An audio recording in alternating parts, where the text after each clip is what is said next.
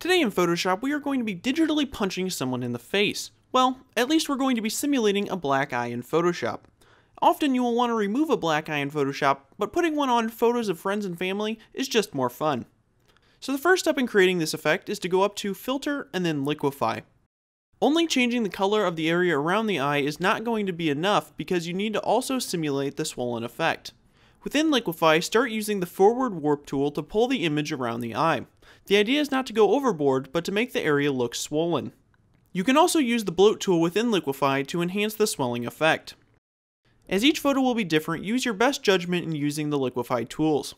When you are done, the eye should look swollen and deformed. You will see that the eye in your photo looks somewhat squished. To fix this squished eye, grab the history brush and paint over the eyeball to correct this issue. Now it is time to really add some depth to this effect. To do this, we will start layering nasty colors around the eye. First make a feathered elliptical marquee selection around the eye, and then add a curves adjustment layer. Now drag the curve down some to start darkening the swollen eye. After that, go over and grab your brush tool. Make sure that the hardness is low on the brush so that you get nice soft edges. After that, create a new layer.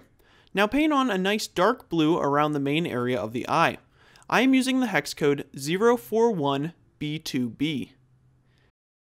Then set the blending mode of this layer to soft light and then lower the opacity. Next we need to enhance the bruising effect and throw in some yellow.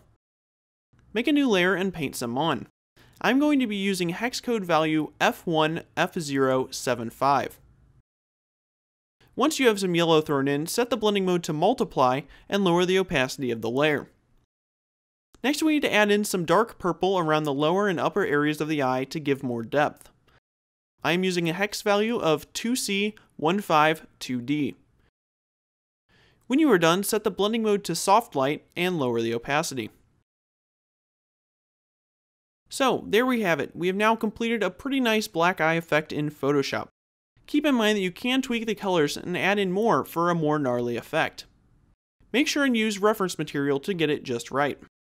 So as always, if you enjoyed this Photoshop tutorial, be sure to subscribe, rate, comment, and share it with your friends.